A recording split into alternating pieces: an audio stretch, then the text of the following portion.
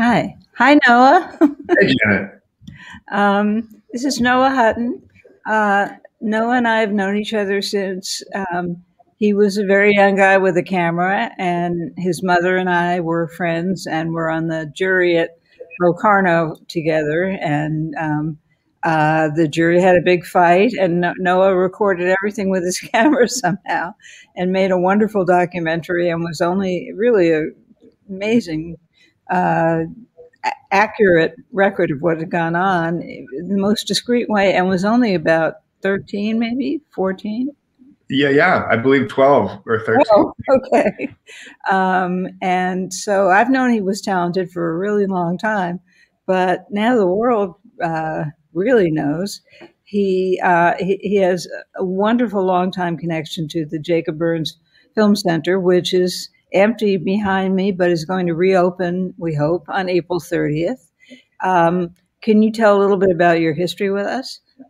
Yes, it's a long uh, and lovely history I have at the Burns. I started um, during high school. I was on the theater staff, and uh, I, I, cut my teeth working, running the mic around during Q and A's, making popcorn, sweeping theaters.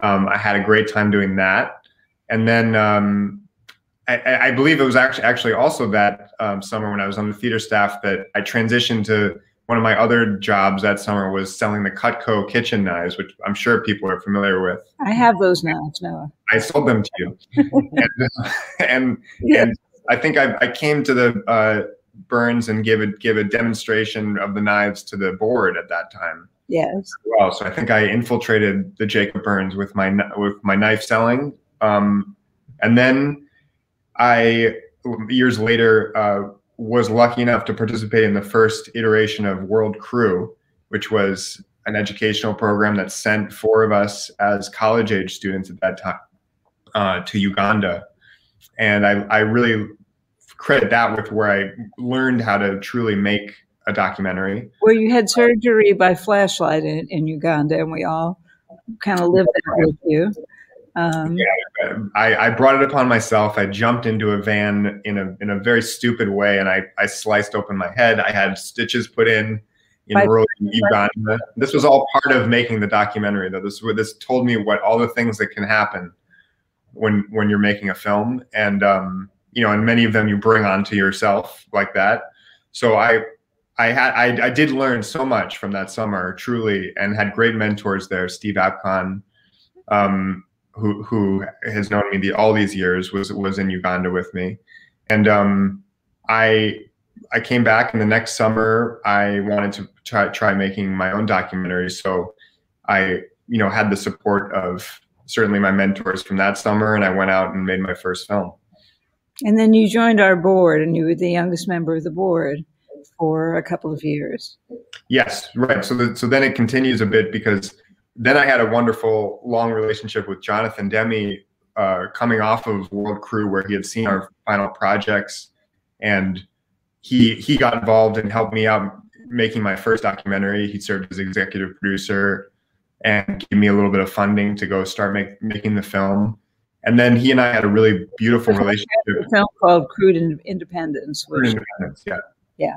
And um, he was so supportive uh, all those years, and then helped me on my next documentary as well. And then um, I I composed some music for the film that he made about Standing Rock, and then was also doing some shoots with him up up to went away on his Tyrone Hayes project, and um, so he was a you know, really true mentor for me, but so many other people in the community as well, and other students who I came up with. And um, then when he passed away, his board seat uh, was changed in, into the the change the change maker seat, and I was given the first iteration of that, and um, that was a huge honor. So I served on the board for two years, and now I guess I'm board uh, emeritus. You are you are that, and and you now have two new films. Um, one of them is Lapsis, which we're going to talk about, and the other is an, is a documentary, uh, uh, which we're not going to talk about. Except Werner Herzog has said about it. Do you want to repeat the quote or? Um, can I can I do it, or or would you like to do it? I, I if you haven't, you, you by, by all means uh, read it, but I, I, certainly have not memorized it. It's, a, it's a phenomenal quote from Werner Herzog that in three sentences describes what this film is about and says how much he, Werner Herzog, loves it. So you're in very good shape with that one. And with Lapsis, tomorrow night you're going to do a thing for Dissent magazine with Boots Riley, who really likes this film. And um, it's been playing in theaters. It's been online and rentable. It's it's been extremely well rev- reviewed, and uh, and you're nominated for a Spirit Award for uh, uh, first best first screenplay. So you're really we're so proud of you and happy for you, and and you're really cooking with gas for with a with a film that is not exactly homemade, but but shot on land that you know that you grew up near, and um, didn't require a lot of expensive equipment, required a lot of people, but um, uh, has a wonderful kind of uh, handcrafted feeling about it and um, uh, approaches the, the gig economy and uh, the way people are enslaved by big corporations in a highly unusual, original way. Can you talk a little bit about what it, what what it is, Lapsis? Yeah, um, I, Lapsis is what I would call maybe a parallel present. It doesn't it doesn't necessarily take place far in the future, um, nor is it in the past. But it, I think for people who see it, it'll it'll have some obvious parallels and similarities to the world we find ourselves in today. And it, it imagines a, a situation in which quantum computing has taken over, and because of that technological boom, there's all sorts of new kinds of labor that's required in this world and and therefore the gig type economy has sort of colonized that labor and is offering opportunities to people to for example lay cable out in the forests. Only you could make quantum computing and laying cable fun plot devices. I, I just but you did. Well I, I i don't it's it's uh, maybe fun to learn about, but it's it's quickly harrowing for our characters who um, find themselves sort of baited into this what what's advertised as a fun, make money quick sort of weekend gig, and then just like you know these things are in real life where you do a little bit and then you kind of get access to greater and greater uh, profits and routes you you kind of are coaxed into the next tier. And so they they keep going and they get deeper and deeper and it lapsis really uh, unfolds over kind of like a mystery a case of mistaken identity that happens to the main character once he gets out there. Everyone has a medallion to that allows them to do this job. Like, a, like a taxi medallion. Like a taxi medallion yeah. So the, associated with that is a is a a trail name. It's kind of their like nickname in the woods. Um, very much inspired by like people I came across on the Appalachian Trail who had trail names uh, there, and um, so I was thinking about I was thinking about that and kind of hiker culture meets gig economy, and so these people have have these trail names, and and our main character inherits a name that he doesn't choose, and it turns out to have um, hidden meanings and associations that he's not aware of, and that's sort of his name is Lapsis. What's what's the last name? It's Lapsis Beef Tech is his trail name, and everyone has a kind of you know somewhat goofy trail name like that. That's a compound of words we know, but in in a sort of unfamiliar way. And we've we've actually created a trail name generator online, and people can go and generate their own trail names now. Really? Yeah, it's a uh, anyway, it's kids cablertrailname.com. And you can go. Say it again because I want to do it. I'll send it to you. okay. All right. Um, uh, have you created a lot of ancillary things that tie into the film this way? Yes, we've we've created a whole world of websites that relate to all the companies and institutions in the film, and this is a deep world building that if anyone, this is not just in in film world building. This is like IRL world building. We have have full websites we've created with much more content than is actually in the film itself. If anyone happens to be interested in a, a fraction of that, I'll be. But it's it's just really we figured out a lot of stuff as we were going about who these people were and what the logic of the world was. So it was really fun to embody that, you know, in in these websites. So what we see are people uh, racing through the forest uh, with cable, trying to reach uh, this giant cement block where they where they plug their cable into it at the end of each trail or each each expedition. What what is that? And uh, did you have to build it, or was it already there?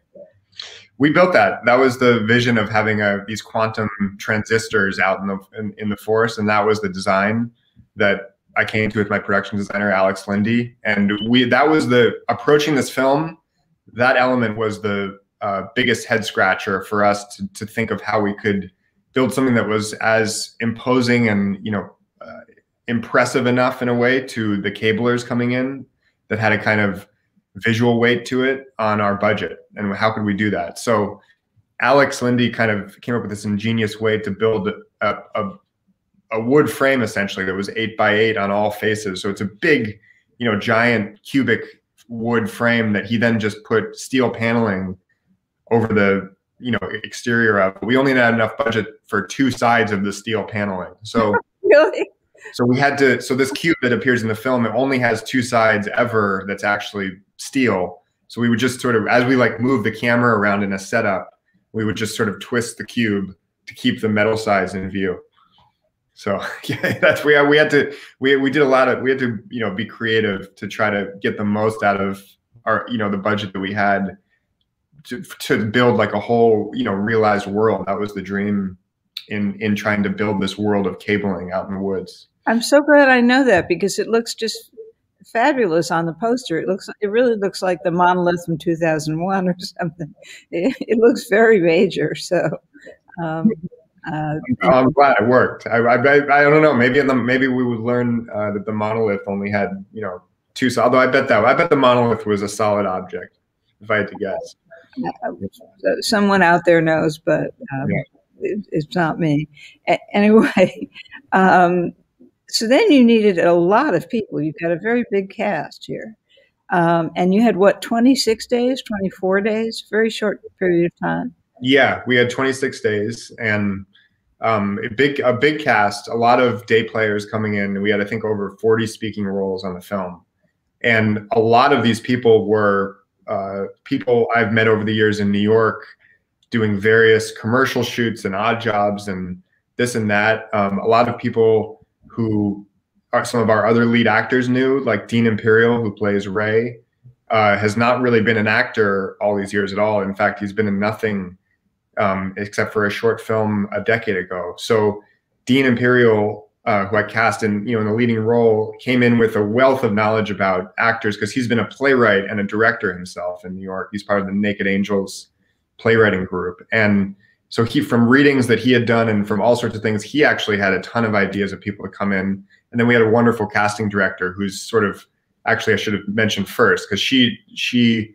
had great ideas about people who could come locally and you know jump into some of these uh, parts. And but it does require a lot of uh, people to to onboard actor to move that that amount of of um, you know crew and, and actors through the whole production through through wardrobe and through hair and makeup. And we just had an incredible group that kind of all came together uh, to make this happen. Couldn't you have made it a lot easier on yourself by using a much smaller bunch of, of actors and a, and a well-known person in the main role Just, I'm playing devil's advocate here. Sorry. The problem for me, because this was presented to me as I was developing the film and trying to raise money for it, was why are you, why are you, um, why have you written this film that re- requires, you know, I, I, it's not a, it's certain, certainly like it's still a low budget production, but it certainly requires more resources than your micro budget that you could mumblecore film that you could shoot in, you know, uh, a, a, couple apartments. Why in this in this uh, production are you putting a complete unknown in the in the lead role, or at least the the you know supporting role? Why why not go for you know um, and and I and simply I was honestly I was um, my hands were tied because I'd written the film for Dean, and it's not a you know it's not like I was kicking myself for doing that. This was the only way the movie was going to be made, and I was only ever going to make this movie for him to play the lead role. So it was completely irrational. but I, it was like I was fully taken over by Dean as a muse for this character, and I couldn't get my head around uh, not having Dean play the role and bringing in some other name person, and then, as you're saying, maybe downsizing the rest of it. This was just the way it had to be done, and I I, I wouldn't make the decision any other way. I think it, it, the project just wouldn't have happened had it not been for Dean. Whatever you're doing is working perfectly. So I don't take this as any kind of criticism. They're just kind of natural questions. Um, uh, did you write the smaller roles for particular people, or what did you need in the in the smaller characters who were just running around on their on their paths? The I would say like um I wrote the I wrote the leading roles for um, Dean and Madeline and uh, Madeline Wise who plays Anna, and uh, then I had some really good ideas that took me, a, you know, maybe a little longer to come to and settle into as I define the characters more. But the the small, you know, a lot of the other um, smaller roles and, and characters we kind of come along and find mm-hmm. were were as I said, you know, suggested by people after they'd read the part. But we ended up shooting a, a film that was very close. In fact, pretty much exactly what was on the page going in. So there was no coming, you know, coming to set and improvising really to find something in the moment. We really found great uh, day players who could come in and execute, who had been recommended by people who were familiar with exactly what this character was, the vision for it was. So we had that's where we had an incredible casting director who was just throwing ideas at us, Erica Love, and um, you know, and then and then people like Dean recommending friends of his in the kind of this like underground New York theater world and I don't have I'm not really that's not my world at all. So I was just sort of like was was just taking absorbing this energy and people's ideas and honestly could, I, I could have never like placed I could have never cast each of these people myself and meticulously chosen or I would have needed years or something. This was a this was like a total collective project to fill out the cast of this film and for people to recommend friends of theirs to play something. And and that's kind of that's the only way it was possible to make it. What what were you what kind of quality did you want? Did, did you want them to be kind of desperate or kind of bemused by this or or what? I i uh you, you're saying in, in general for these for the kind of like ancillary for the, kind of, for the kind of people who would take on this work. Yeah i th- well, I, I i would hope that what comes across in the film is that there's a bit of a range of of kind of maniacs who have been out there too long and are kind of ranting. Yeah. and and um two you're kind of like weekend energy who are uh, the two women who take ray into the forest to begin with um who have kind of like a hip millennial new york like they're they're doing this on the weekend and probably entrepreneurially doing a few other things too. And i, I kind of wanted a, uh, an intersection of the like millennial entrepreneur energy with like the deranged Appalachian trail hiker energy and then sort of everything in between so that you have people like conspiracy theory people who are out there because of they want to get away from society. There's people who um, are, pro- are probably like th- think of it more like a workout thing. So i was trying to place a lot of different cross a cross section because the whole idea here was that cabling would be attracting a cross section of this world. Is it just pure happenstance that the film comes along right when the minimum wage is being debated and and what it takes to sustain a society? And and those issues are now right front and center with with uh, our our government yeah I, I, mean it's yeah it was certainly not planned to to be released at any uh, particular moment in this whole past year of of of our journey to kind of get the film out has you know ducked every plan we've tried to adhere to and stick to. So, but the timing's pretty good. there's no logic to it, but the timing is, I, yeah, I hate to say the timing's good because that's so, there's something that's so kind of crass about thinking that the timing's good after the minimum wage has just been, the bill has just been killed.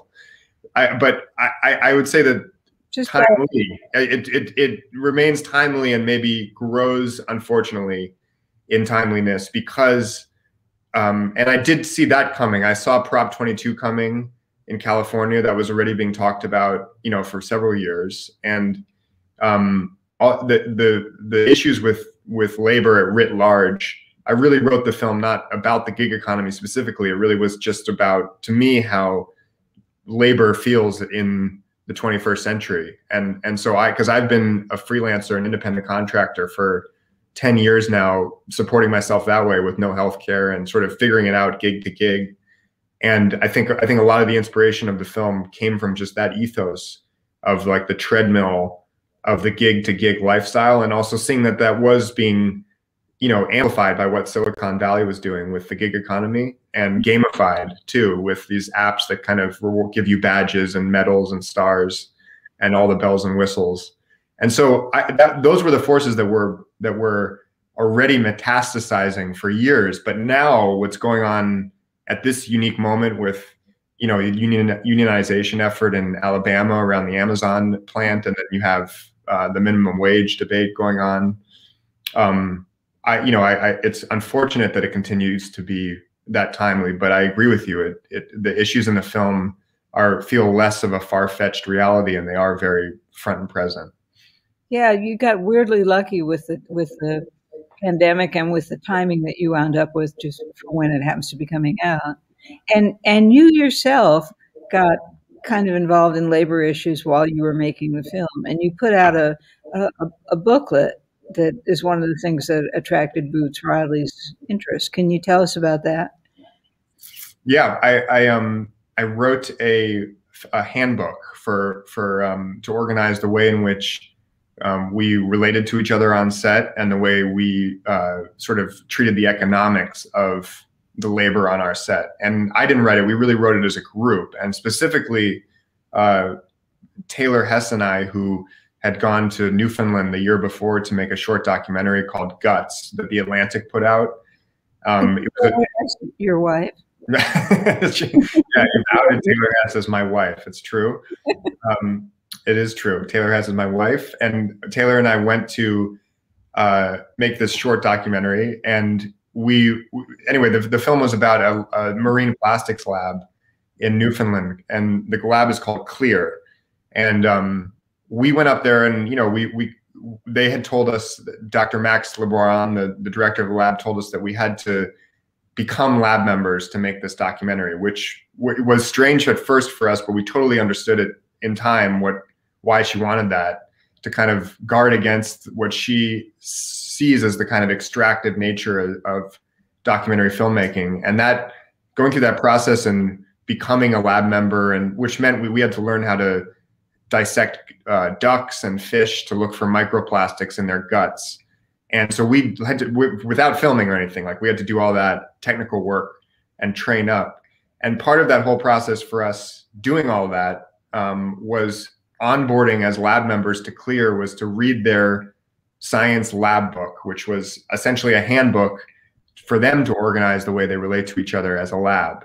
And, and by the way, this lab is identifies outwardly as a anti-colonial feminist lab, which you don't hear often in science. Um, they, and they're, they're really organizing their their research and the way they do things very differently from the kind of status quo, certainly in their field, but in, at writ large in science. So this was all, you know, we, we, we were learning about all this in real time and we kind of, I think, had to uh, digest it a bit and um, figure out what it all meant after the fact. But what one of the repercussions of that project was that we were inspired to try to adapt their handbook, their lab book, into a filmmaking handbook. So that was the, that was the genesis of all of this.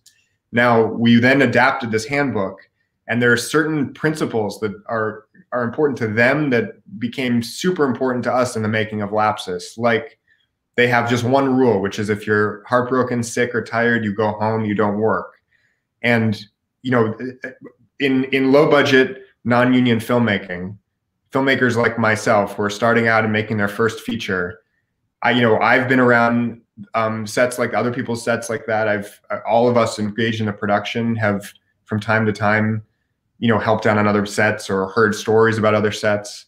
And we've all heard of, of abuses, which usually stem from kind of like good intentions going in, and then you kind of like grin and bear it to, to the finish line because the moment time is constricted and money is on the line your good intentions kind of go out the window and mm-hmm. people are overworked and favors are called in and people are stretched to kind of their limits and at the end of the day the writer director, usually solely the writer director, kind of leaves that whole situation on the on the rocket of success if that happens if the film is successful they're the ones who get the manager and agent they continue to the next project and it's debatable how many of those people who helped on that film down to the PAs, you know, would ever see you know anywhere near the kind of benefit right from the whole situation. So the ethos of this was I, I wasn't I just thought that a film shouldn't be made necessarily unless you can for for example raise enough money to pay everybody at least a minimum wage, which you'd be surprised is just not the case uh, most of the time.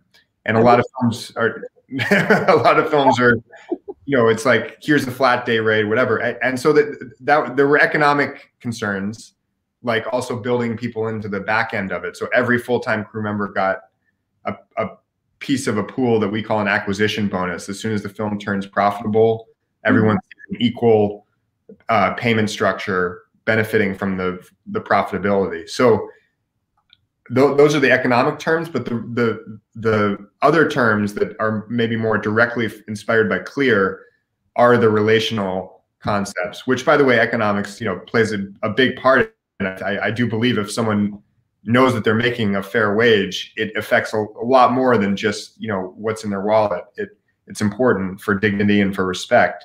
Mm-hmm. And but but relationally, we we went through the process of figuring out like what our values were as a as a group making a film about the exploitation of workers why we want to exploit you know the people working on this film in any way if we're making if we're making a film about that. So we went through uh, the process of developing this handbook. We we shared it with everyone at multiple stages along the way. And then um, in you know day one of of production of the film we came together as a group um, taking irrationally taking time out of our our first huge long day in this convention center in Poughkeepsie to stand as a full crew and, and cast and talk through the handbook, you know, burning time out of our, our precious time out of our day. But doing things like that uh, made it, you know, clear that this was important for us. Not just, you know, that it was, we everyone was there to enact my vision or something, but that we were going to try to make this film differently from what we had been familiar with in the past and um, it wasn't perfect by any means. You know, it's like I and and I've talked about a bit about this with people who've been interested about the handbook. Just that you know, ultimately, like filmmaking is somewhat authoritarian at the end of the day. Like I have to make decisions. Mm-hmm. The sun is setting, and we have to we have to figure out like what we're going to compromise on and what we're going to still try to get. And that's I don't know that there's any way to get around a, a degree of that, but we tried to build consensus-based decision making through pre-production and as far as we could kind of push it. And then next time we do it i'll hope to do it you know even better. But this is this was the uh, experiment in a way on this film. And the handbook is now freely available on our production company website people can we encourage people to take it use it and or adapt it actually you should iterate your own values as as filmmakers if you want to take that the document so um, it's sort of a work in progress, but it, I think it was for everyone involved, it was really meaningful to have this extra layer of attention uh, to how we were kind of relating to each other. Has it gone viral at all? I, I, don't know how to def- I don't know how to quantify that, but I think your um, mother told me that.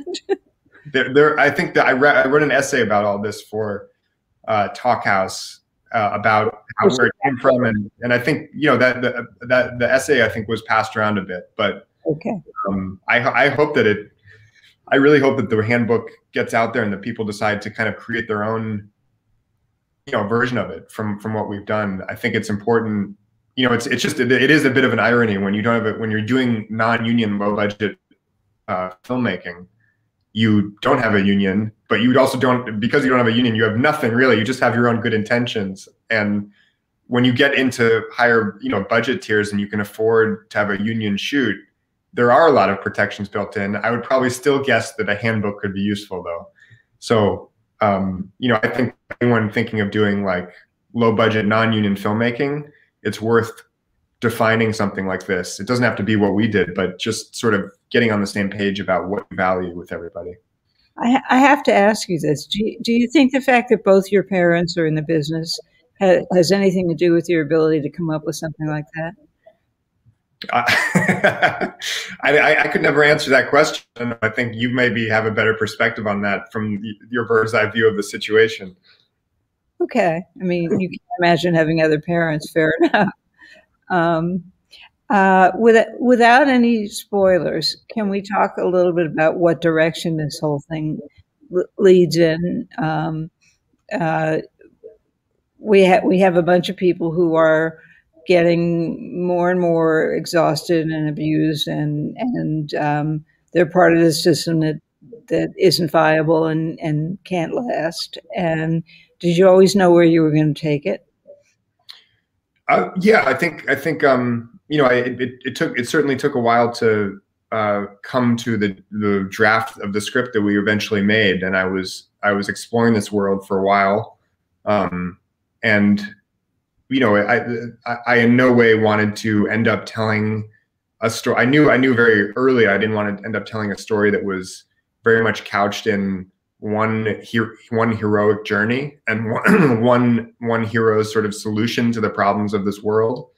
I really did want to take uh, a journey into this world on the back of one of an individual, as sort of everyman, uh, the character of Ray, but get eventually end up at uh, in a situation where he joins collective action and he's he sort of be, realizes that there's been something brewing that he can um, slip into and offer a piece of help towards but that in the end it's not because of his individual glory that that some ill is cured or some problem goes away. So i knew that that, that was my ethos going into the project. Um, and the the particulars of it you know came into to view as as as i wrote the script. Um, one of the things that you've done throughout your now substantial career, and it's in it's in the Herzog quote somehow, is is um, is that is that you don't make you don't start out with judgments. You come into situations, and as, primarily as a documentary filmmaker, you try to find out what's going on. You're very you have that quality of Jonathan's where you're very good at eliciting information from people uh, they they just like to talk to you, and then um, you kind of follow things where they are naturally going. You don't try to impose a structure or an idea on things, and you get your best information by just searching. And I, I wonder if you have a stronger sense than you did before about where you want to go with that. Whether you want to keep making documentaries. This is your first feature, right? Um, or, or whether you want to make more features and uh, let the world's documentary questions resolve themselves. If you have, if you think you're going to go back and forth, or uh, if you're more comfortable with one thing than the other. I, I, truly admired that quality that Jonathan had, which is that I don't know if you had asked him that question at any point in his career, he would have closed the door on anything. Um, he he was so open to being interested in in what the next project was and what what that project uh, asked. Was it him going with a handy cam up to Standing Rock, or was it you know a big studio movie? Um, it depended on what he wanted to explore and how he wanted to explore it. And so that for me, I got into you know filmmaking in general, just being kind of like a, a, a person who is who would go on deep dives, obsessive kind of, you know, holes into different uh, worlds and projects. And I got super into neuroscience in my early, you know, 20s and went on this long journey making a 10 year film uh, about that, a documentary. And that's just sort of what it, what it became.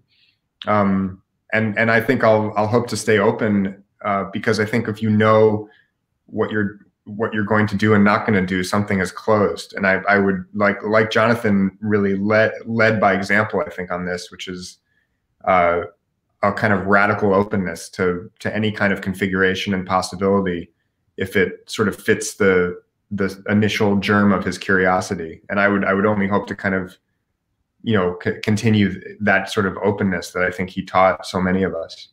He did everything, and sometimes he would do things just because they were jobs he something would come along and and uh, it would just be convenient for him to take it and um, uh, some of those would turn out to be his best work he never really knew um, uh, he, he just had instincts and would follow them and and uh, I, I, don't think everything he took on was necessarily his favorite idea, but sometimes they would turn out to be surprising even to him how well how well they would turn out. So it's a great right. role to have.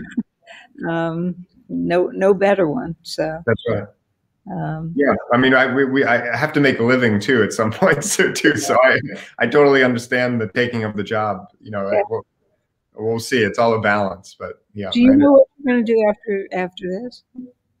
Um, I've already started to write. I've written uh, a draft of a new script. Um, I'm also playing around with the idea of exploring this world of Lapsis for uh, episodic to not to to not use the same characters, but to kind of uh, inhabit the same world. So I'm exploring that very early stages. But I would hope to, I, I would I would like to try to make um, whatever it is, any of these or something else completely, another narrative, another um, film, or or get into you know uh, narrative episodic filmmaking and continue uh, continue that next. Mostly because it's where I, I, have the most ideas right now. I, I don't have another uh, itch or idea for a documentary having having just been wrapping up this 10 year uh, brain documentary which is which is feels feels truly like an end of a era on that project. Is people it really is a 10 year brain documentary. He he got involved with the researchers who were working on this project. It was called the beautiful brain right? Uh, the the project was called the blue brain project over in switzerland. And and you every year you went to switzerland and next thing you know 10 years have gone by and and or uh, they went. It seems to me they went by pretty fast, but I wasn't doing it. And and now you finished it. It's it's uh, it's it's it's there. You really did it. And anyway, it amazes me that you did a ten year film. But when you when you talk about um, doing this in in, in I forget what words you use, but like in installments or whatever, are you talking about like series television or uh, games or um, eh, c- comics. I'm, I'm, not trying. I don't know. What are you talking about? I'm talking about. I'm talking about yeah, television, episodic okay. television, television. Yeah. Um. Uh. Well, you'd have everybody ready. You'd have. Um, you'd be. You'd have the rules. You'd have the the people. You'd have the whole. You'd have the two two parts of the cube. That's right. Yeah, maybe we could even get four parts. Uh, you know, depending on yeah. All right. Um, uh, fantastic. Whatever you do, I know it's going to be good because you never, you've never made a false move, and I just think.